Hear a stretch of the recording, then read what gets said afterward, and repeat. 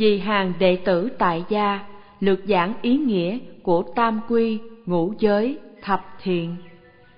Thương thay, từ vô thủy đến nay, chúng sinh luân hồi sáu nẻo, không được cứu, không chỗ về nương, không nơi gửi gắm, như con côi mất cha giường kẻ cùng quẩn, nhà tan cửa nát, toàn là do phiền não ác nghiệp, cảm thành quả khổ sinh tử ấy, mù lòa không huệ nhật chẳng thể tự thoát khỏi. Đại giác thế tôn thương xót, thị hiện sinh trong thế gian, vì chúng sinh thuyết pháp, dạy họ thọ tam quy để làm cái gốc bỏ tà về chánh. Dạy họ trì ngũ giới, hồng làm cái gốc đoạn ác tu thiện. Dạy họ hành thập thiện để làm gốc rễ thanh tịnh, ba nghiệp, thân, khẩu, ý. Từ đấy chẳng làm các điều ác dân làm các điều thiện.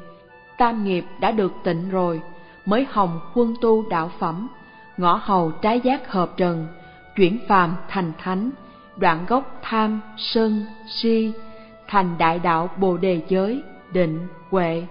Bởi thế, đức phật giảng tứ đế, thập nhị nhân duyên, lục độ, ba mươi bảy phẩm trợ đạo dân dân, vô lượng pháp môn.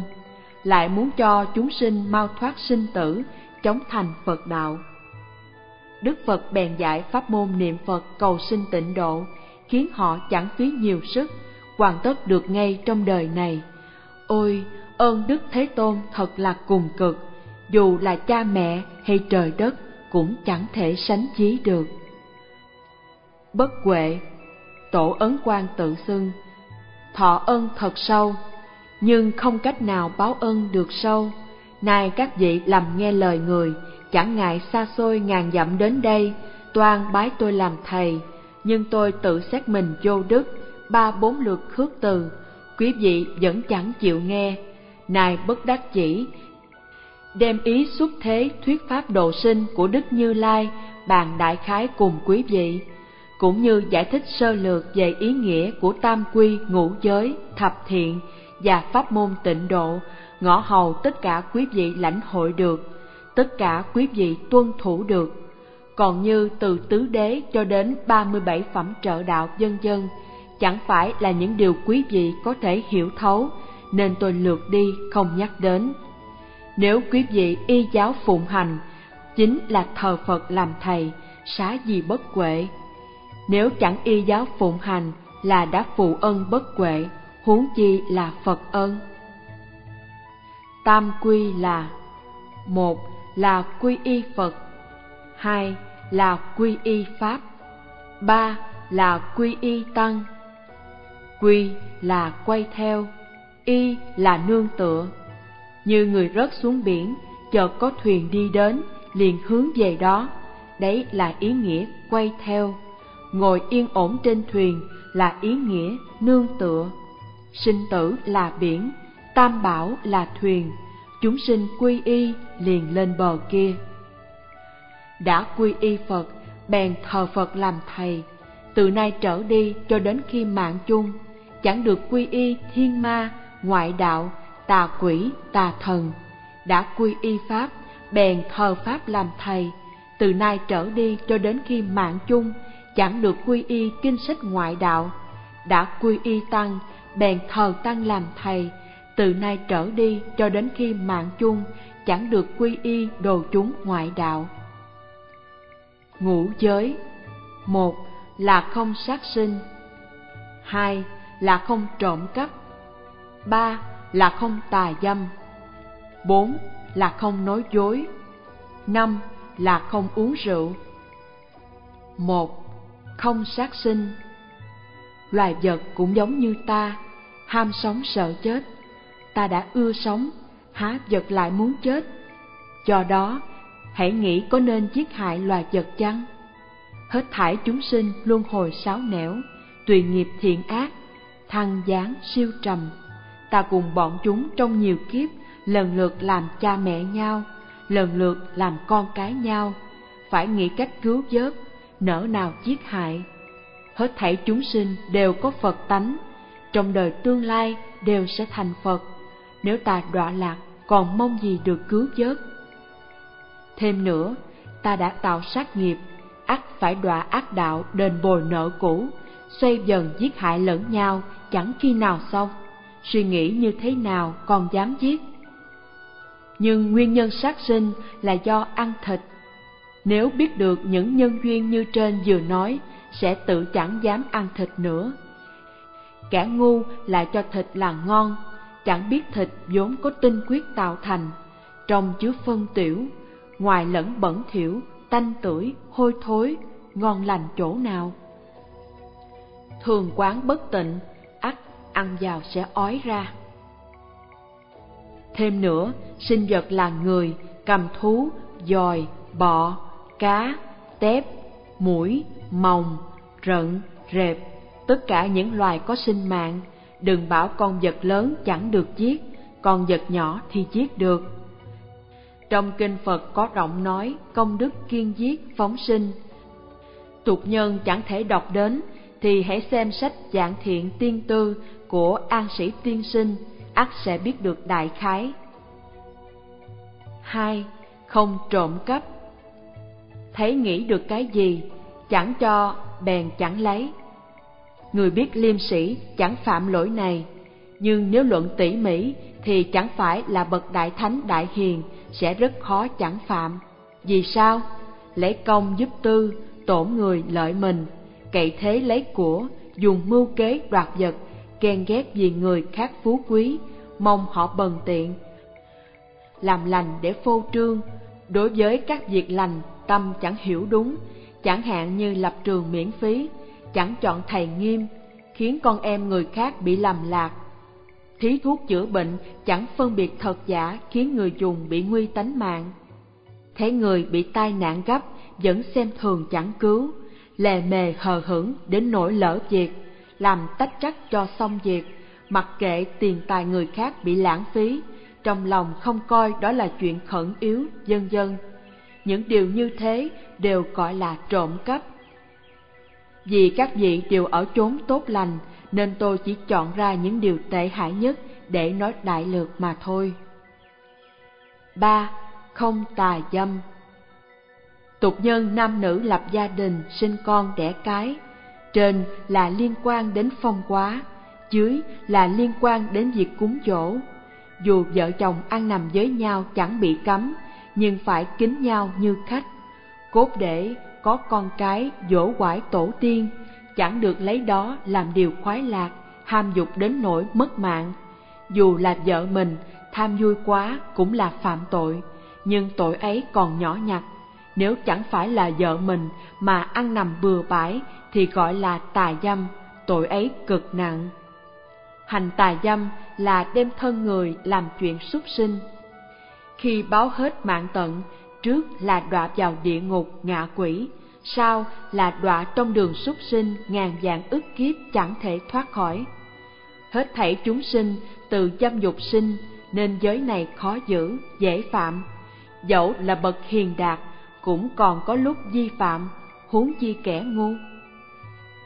Nếu lập chí tu trì thì trước hết phải biết rõ lợi hại. Lợi là chẳng phạm giới này sẽ được lợi lạc gì. Hại là những quả hại do phạm giới này cũng như phương pháp đối trị, thời sẽ như thấy rắn độc, như gặp quán tặc, kinh sợ, quảng hốt, dục tâm sẽ tự dứt. Cách đối trị chép rộng trong kinh Phật. Tục nhân không duyên xem đến, hãy đọc sách Dục Hải Hồi Cuồng của An Sĩ Tiên Sinh sẽ biết được đại khái. 4.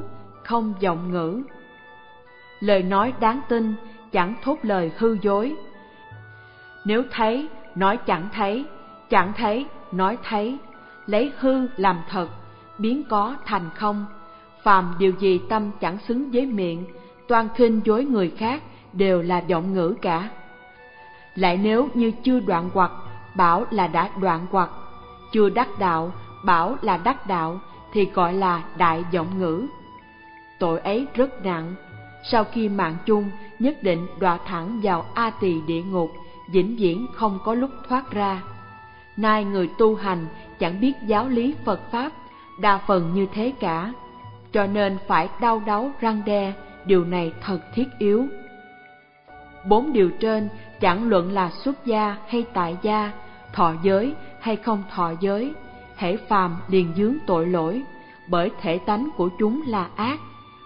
Nhưng người chưa thọ giới thì mắc tội một tầng, người đã thọ giới mắc tội gấp đôi, bởi ngoài chuyện làm điều ác ra, còn thêm cái tội phạm giới. Nếu giữ được chẳng phạm thì công đức vô biên, hết thảy phải nên gắng sức. năm Không uống rượu Rượu làm cho tâm người mê loạn, hoại giống trí tuệ. Uống vào sẽ bị điên đảo, hôn cuồng, làm chuyện càng quấy.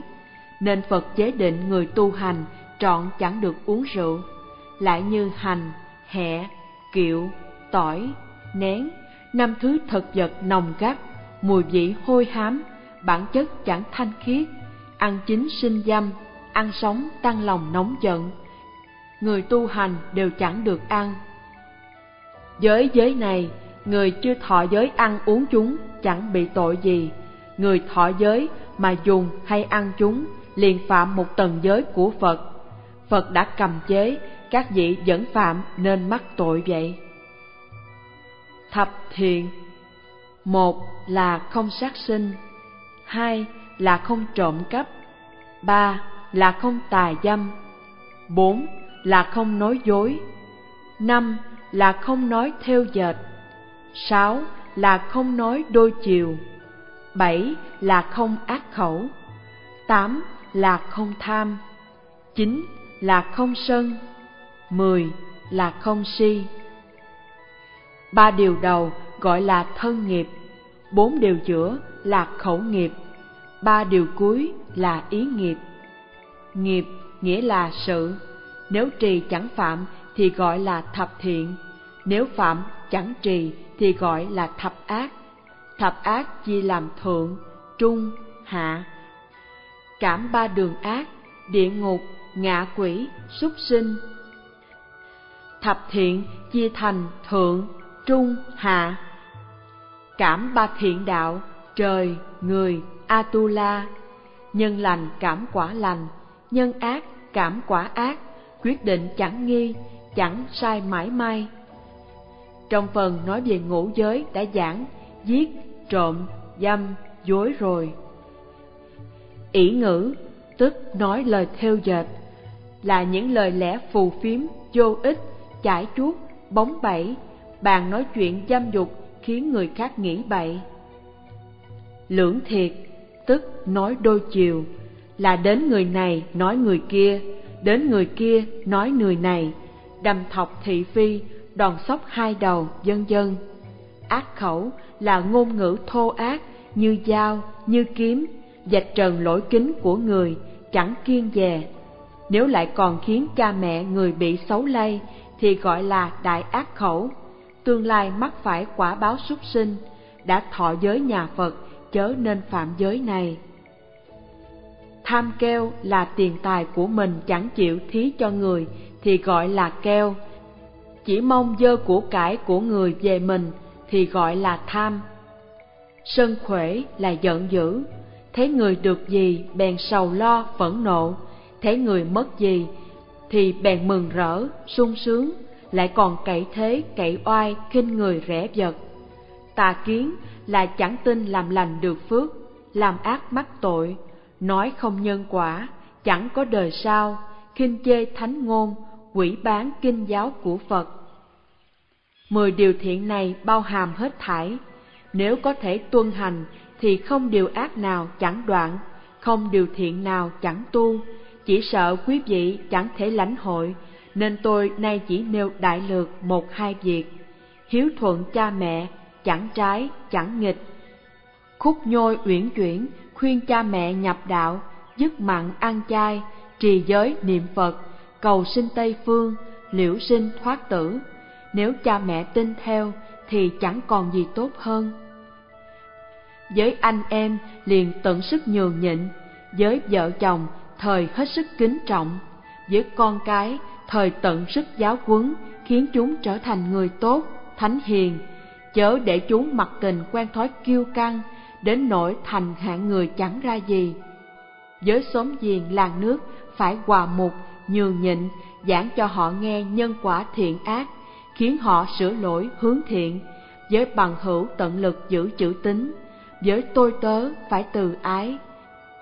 Với việc công, bèn tận tâm tận lực như khi làm chuyện tư. Hễ gặp người quen biết họ hàng, gặp cha nói từ, gặp con nói hiếu, còn như kinh doanh cố nhiên là để kiếm lời, nhưng chẳng được bán hàng giả, lừa dối người khác. Nếu như đem phong tục này giáo hóa cho cả một ấp, một làng, thì sẽ khiến cho quả quạng chưa nảy mầm đã tiêu, các hình phạt trở thành vô dụng. Có thể nói là ra ngoài tận trung, trong nhà tận chính vậy. 5. Các sách vở nên đọc Thuật rộng nguyện luân, giảng sâu xa duyên khởi thì chỉ có mình kinh vô lượng thọ. Chuyên giảng về pháp quán cũng như dạy rõ các nhân giảng sinh thì chỉ có mình thập lục quán kinh, kinh quán vô lượng thọ Phật. Hai kinh trên đây pháp môn rộng lớn, đế lý tinh di, kẻ độn căn đời mạt thật khó có thể được lợi ích. Tìm lấy một bản kinh câu văn giản dị nhưng nghĩa lại giàu, dùng ít chữ nhưng nghĩa lý phong phú, độ khắp ba căn, hạ thủ dễ nhưng thành công cao, dùng sức ít mà đạt hiệu quả nhanh chóng, chuyên rồng tu một hạnh lại viên thành dạng đức. Khiến cho nhân tâm mau chóng khế hợp quả giác, thì chỉ có mình kinh Phật thuyết A-di-đà mà thôi. Ấy là gì một phen nghe đến y báo, chánh báo trang nghiêm. Thượng thiện nhân cùng nhóm họp, ắt sẽ sinh lòng tin chân thành, phát nguyện khẩn thiết, quyết có cái thế mạnh mẽ như sông ngồi tuôn chảy không sao ngăn được. Từ đấy giữ chặt khư khư, chấp trì dạng đức hồng danh. Niệm đâu chú tâm vào đó mãi, cho đến khi nhất tâm bất loạn. Làm được như vậy, thì ngay trong đời này đã dự vào dòng thánh, lâm chung theo Phật giảng sinh, khai Phật tri kiến, cùng thọ dụng như Phật. Bởi thế biết rằng, một pháp trì danh bao gồm dạng hạnh, toàn sự tức lý, toàn vọng tức chân. Nhân tột biển quả, quả thấu nguồn nhân, thật đúng là đường tắt để quay về gốc, là cửa ngõ trọng yếu để nhập đạo. Kinh A Di Đà có bản yếu giải do đại sư ngẫu ích trước tác, lý sự đều đạt tới mức cùng cực, là bản chú giải bậc nhất kể từ khi Đức Phật nói ra kinh này. Diệu cực xác thực, dù cổ Phật tái hiện trong thế gian, chú giải lại kinh này cũng chẳng thể hay hơn được. Chớ nên xem thường, hãy tin nhận chắc chắn. Kinh Vô Lượng Thọ có bản sớ giải của Pháp Sư Huệ Diễn, đời tùy. Giải văn, thích nghĩa, thật là trong sáng, gãy gọn. Kinh Quán Vô Lượng Thọ có bản chú giải tứ nhiếp sớ của Hòa Thượng Thiện Đạo, Ngài chỉ muốn khiến cho ba căn cùng được lợi ích, nên đa phần phát huy về mặt sự tướng. Sau phần nói về thượng phẩm thượng sinh, Ngài phát huy sự hơn kém của hai cách chuyên tu và tạp tu, khiến người đọc sinh lòng tin chân thành kiên cố. Dù Đức Thích Ca Mâu Ni Phật và chư Phật hiện thân bảo bỏ pháp môn tịnh độ này để tu các pháp môn khác cũng chẳng thay đổi ý nguyện chút nào. Có thể nói, sách ấy là kim chỉ nam cho hành giả tịnh nghiệp. Còn như cuốn Quán Kinh Diệu Tông Sao của Tông Thiên Thai thì do đế lý cực viên dung nên trung hạ căn chẳng được lợi ích. Chẳng bằng sách tứ thiếp sớ lợi ích khắp ba căn, lợi căn hay độn căn đều được lợi ích cả. Cổ nhân muốn cả thế gian cùng tu nên lấy kinh A Di Đà làm nhật khóa. Bởi lẽ kinh này ngôn từ ngắn gọn, nghĩa lý phong phú, hạnh giản dị, hiệu quả nhanh chóng. Bậc đại sĩ hoàng pháp chú sớ, ngợi khen kinh này từ cổ đến nay chẳng đếm được hết. Trong số đó, tìm lấy bản rộng lớn, tinh di thì không bản nào bằng được tác phẩm sớ sao của Ngài Liên Trì. Còn thẳng chóng, yếu diệu thì không chi bằng tác phẩm yếu giải của Ngài Ngẫu Ích. U Khê Đại Sư dùng pháp ấn đế quán bất nhị của tông thiên thai để soạn lược giải viên dung trung đạo sao. Lý cao thâm nhưng sơ cơ vẫn lãnh hội được. Văn giảng minh bạch nhưng người tu lâu đọc đến vẫn khâm phục.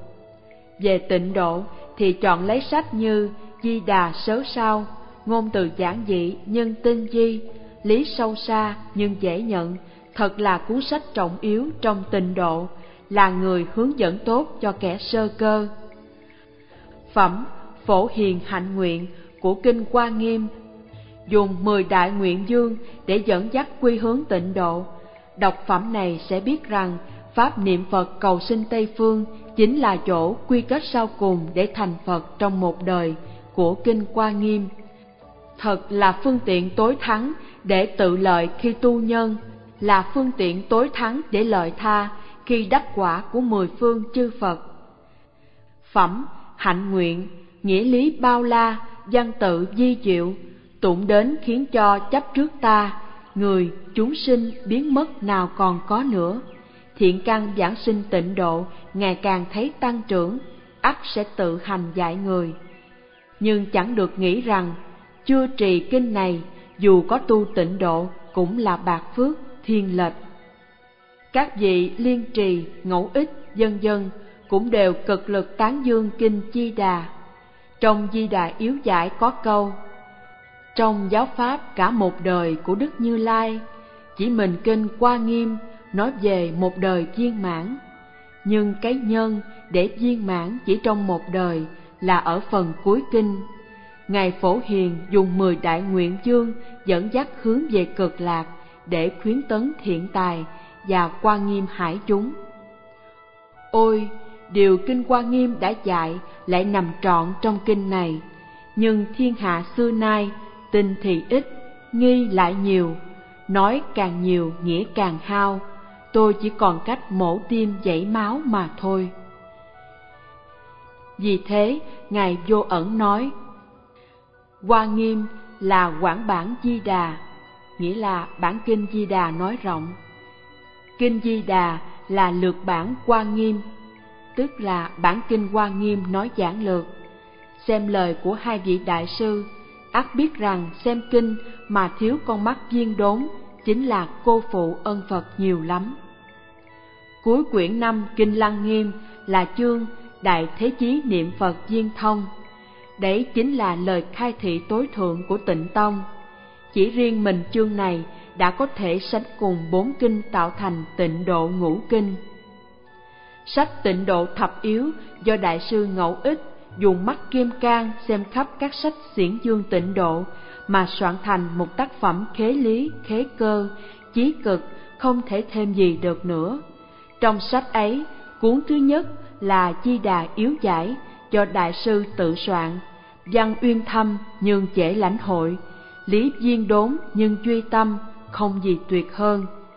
Hãy nên thường xem đọc, nghiền ngẫm Chính cuốn còn lại không cuốn nào lý viên mãn, từ ngữ hay khéo, thế hợp thời cơ sâu xa bằng cuốn yếu giải. Dù chưa thể hiểu trọn vẹn mỗi một cuốn, nhưng một phen dở xem khác nào uống thuốc tiên, dần già lâu ngày, phàm chất ắt thành sát tiên vậy. Sách tịnh độ Thánh Hiền Lục chép tỉ mỉ các hạnh nguyện khi tu nhân và công đức khi đã đắc quả của Phật Di Đà và các việc tự hành dạy người của các vị Bồ Tát Quán Âm, Thế Chí, Văn Thù, Phổ Hiền, Mã Minh, Long Thọ, vân vân, Kế đến là sự tích giảng sinh của Từ Viễn Công, Tổ Huệ Viễn, trí giả cho đến các đại tổ sư, thiện tri thức đầu đời thanh, rồi đến sự tích niệm Phật giảng sinh của tỷ kheo ni, du quan, sĩ thứ, phụ nữ, ác nhân, súc sinh. Lại còn chọn chép cả những ngôn luận thiết yếu, ngõ hầu người đọc có căn cứ để chọn lấy pháp. Không cách nào nghi ngờ được nữa, bèn noi gương cổ nhân, tận lực tu tịnh nghiệp. So với việc tham phỏng thiện tri thức, đọc sách này lại càng thật sự quan yếu hơn. Sách Long Thơ Tịnh Độ Văn, đoạn nghi khởi tính, bao lược phân tích, trình bày rành rẽ, chiêu môn định loại pháp môn tu trì, là cuốn sách hướng dẫn quý bậc nhất của người sơ cơ. Nếu muốn lợi lạc khắp hết thảy, chẳng thể không bắt đầu từ cuốn sách này. Sách Pháp Uyển Châu Lâm gồm 100 quyển, luận rõ nhân quả, lý sự cùng nêu, sự tích báo ứng rành rẽ phân minh, đọc đến không lạnh mà run, dù ở trong nhà kính phòng tối vẫn thường như đối diện Phật trời, chẳng dám nảy sinh chút ác niệm nào. Thượng, trung, hạ căn đều được lợi ích, chẳng đến nỗi vướng mối tệ nhận làm đường nẻo, chấp lý phế sự. Ngã theo thiên tà, cuồng vọng, như Ngài Mộng Đông nói. Người khéo bằng tâm tánh, ắt chẳng bỏ lìa nhân quả. Người tin sâu nhân quả, rốt cuộc sẽ hiểu thật rõ tâm tánh. Lẽ ấy thế đương nhiên như thế. Câu nói này của Ngài Mộng Đông quả là lời bàn luận cùng tột thiên cổ, chẳng sửa đổi được, mà cũng là mũi kim đâm thẳng xuống đỉnh đầu những kẻ cuồng quệ, buông tuồng dậy. Bộ An Sĩ Toàn Thư, giác thế dạy người tận thiện tận mỹ, bàn đạo luận đức, dược cổ siêu kim, lời lẽ giản dị nhưng xúc tích, lý sâu nhưng dễ hiểu, dẫn những sự tích có chứng cứ đích xác, phát huy tột cùng uyên nguyên những nghĩa luận đúng là của báo để lưu truyền cho con cháu, mà cũng là bộ kỳ thư để tuyên giảng. Mỗi lời đều là tâm pháp của Phật, của Tổ, là đạo mạch thánh hiền, là đạo trọng yếu khiến đời yên, dân hiền, là bí phương rạng rỡ, tốt lành. Nếu có thể hành đúng theo sách ấy, sẽ nối chí thánh hiền, liễu thoát sinh tử, giống như đưa ra giấy cầm đồ để lấy lại vật cũ, sánh với những thiện thư khác được lưu thông trong đời, thì có khác nào đem quả núi sánh với đụng đất, biển cả sánh với dũng nước vậy?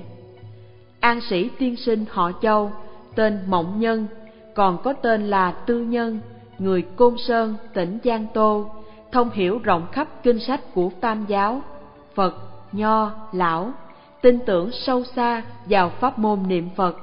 Đến tuổi nhược quan, chừng 20 tuổi, đi học, bèn chán con đường khoa cử, phát bồ đề tâm, soạn sách giác ngộ người đời, ngõ hầu trước là để ai nấy chẳng làm lỗi, sau là thoát khỏi biển khổ sinh tử.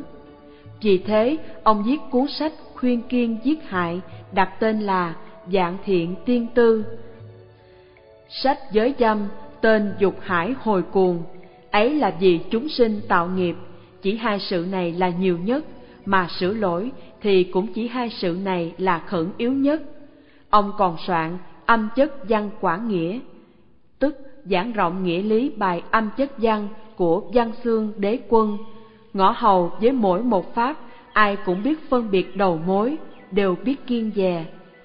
Sách phê bình, biện luận cùng tột, tinh di, đáng gọi là bậc công thần của đế quân, triệt để bóc trần, phơi bày tất cả cái tâm, rủ lòng giáo quấn, khiến cho ngàn đời trước, ngàn đời sau, cả người giáo quấn lẫn người được giáo quấn không buồn bã tiếc nuối gì. Ấy là vì tiên sinh kỳ tài diệu ngộ đã dùng những sự tích thế gian để phát huy những nghĩa lý ác diệu, u vi của Phật tổ, khiến cho người nhã, kẻ tục cùng xem, người trí, kẻ ngu cùng hiểu. Lại vì trong các pháp môn tu hành, chỉ có pháp tịnh độ là thiết yếu nhất, nên tiên sinh lại soạn cuốn Tây Quy Trực Chỉ để giảng rõ đại sự niệm Phật cầu sinh Tây Phương, liễu sinh thoát tử. Bởi lẽ tích đức tu thiện chỉ là phước nhân thiên, phước hết lại phải đọa lạc. Niệm Phật giảng sinh là dự vào địa vị Bồ Tát, quyết định thành đạt Phật đạo. Ba cuốn sách đầu tuy dạy người tu thiện nghiệp thế gian, nhưng vẫn gồm đủ pháp liễu sinh thoát tử. Cuốn sách thứ tư tuy dạy người pháp liễu sinh tử, nhưng phải tận lực thực hành điều thiện thế gian. Thật có thể nói là tiên sinh hiện thân cư sĩ để thuyết pháp độ sinh.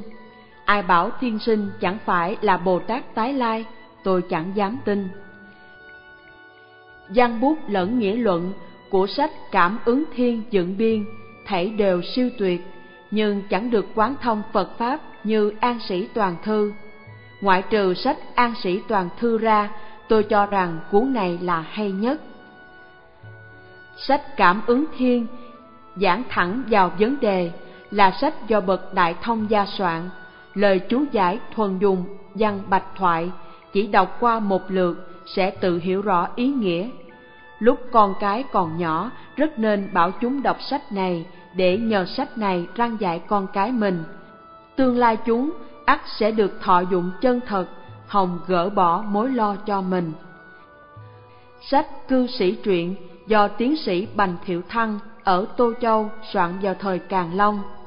Ông xem khắp các sách vở, chọn lấy những gương đại trung, đại hiếu, thanh cao, chánh trực, liêm khiết, hữu công danh giáo, hiểu sâu Phật Pháp từ đời Hán đến nay, ghi chép những sự nhập đạo, tu chứng của họ và chép cả những câu văn phát huy Phật Pháp. Số người được chép lên đến mấy trăm người, chép thành sáu quyển. Tam giáo Bình Tâm Luận do học sĩ Lưu Mật đời nguyên soạn.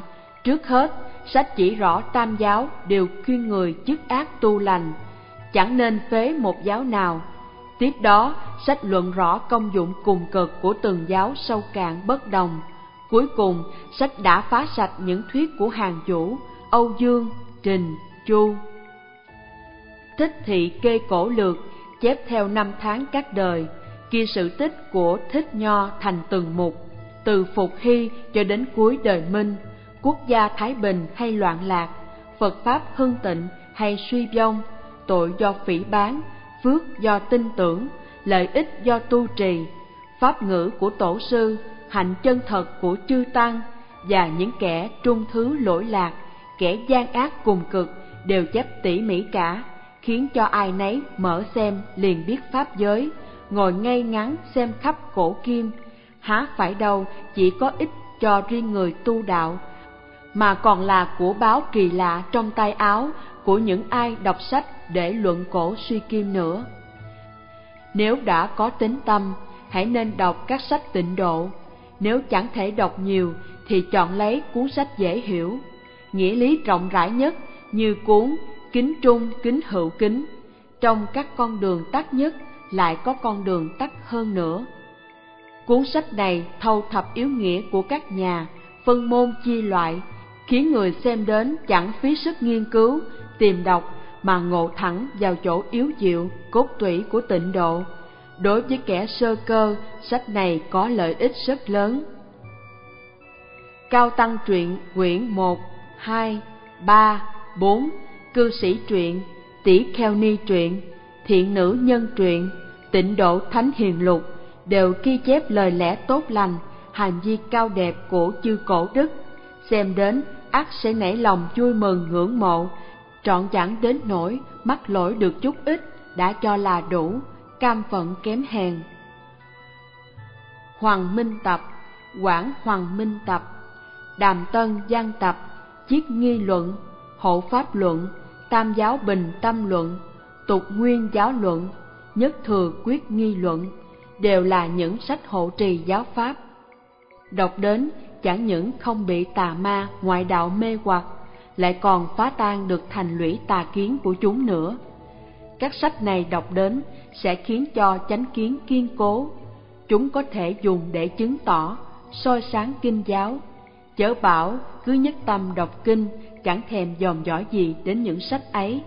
Cái tri kiến sai biệt đó nếu không đã thông được, khi gặp địch rất có thể bị chuốt lấy nhục vậy Sách Mộng Đông Ngữ Lục do cư sĩ Tiền Y Am trích tuyển những câu nói chuyên dạy về tịnh độ trong Mộng Đông Di Tập soạn thành, lưu truyền ở phương Nam, ngõ hầu đáp ứng nỗi hận đã lâu của những người vô duyên hội ngộ. Toàn tập thì có ở Bắc Kinh, nhưng ở phương Nam chỉ có lượt bản này. Sách này văn từ nghĩa lý kinh diệu, là trước tác đáng để xếp hạng nhất sau sách của các vị ngẫu ích tỉnh am. Ngài Mộng Đông nói, thật vì sinh tử, phát tâm Bồ Đề, dùng tính nguyện sâu, trì danh hiệu Phật. 16 chữ này là cương tông của pháp môn niệm Phật. Một đoạn khai thị này tinh di, thiết thực đến cùng cực, hãy nên đọc kỹ. toàn bộ sách Mộng Đông Ngữ Lục, văn từ, nghĩa lý chu đáo, đích thật là kim chỉ nam trong tịnh tông. Nếu còn muốn đọc thêm nữa, thì cuốn Chi Đà Yếu Giải của Ngẫu Ích Lão Nhân đúng là một tác phẩm hướng dẫn tốt ngàn đời chỉ có một. Nếu có thể một lòng hành theo hai cuốn sách này, sẽ chẳng cần phải nghiên cứu hết thảy kinh luận nào nữa. Nếu thường xem ba kinh, tịnh độ và các sách như tịnh độ thập yếu dân dân, ngửa tin lời chân thành của Phật, của Tổ, phát lòng tin chân thành, phát nguyện thiết tha, dùng lòng chí thành cung kính trì danh hiệu Phật. Dù ở trong nhà tối phòng kính, vẫn như đang đối trước Phật trời, khắc kỹ chữ lễ, thành thật, cẩn thận, e dè, chẳng giống như những kẻ trong đời hiện tại, trọn chẳng câu thúc, phóng túng, không biết e sợ gì. quan tôi dù còn là phàm phu sinh tử, vẫn dám bảo đảm ngay trong đời này, các hạ sẽ giả biệt ta bà, cao giữ hải hội, tự làm đệ tử Phật Di Đà, làm bạn hiền của các vị đại sĩ. Có các sách tịnh độ, các giáo nghĩa tịnh độ như thế, nên hiểu biết trọn vẹn, dù chẳng đọc khắp các kinh, cũng chẳng bị khiếm khuyết chi. Còn như chẳng biết đến pháp môn tịnh độ, dẫu thâm nhập nghĩa lý mọi kinh, triệt ngộ tự tâm, lại toan liễu sinh thoát tử, thì chẳng biết phải mất mấy đại kiếp mới mãn được nguyện ấy, chẳng biết đến món thuốc A già đà, hán dịch là đối trị, trị được hết thảy các bệnh. Trị chung dạng bệnh này thật đáng đau buồn thay. Biết nhưng không tu, hoặc tu nhưng chẳng chuyên chí, lại càng đáng đau tiếc hơn nữa.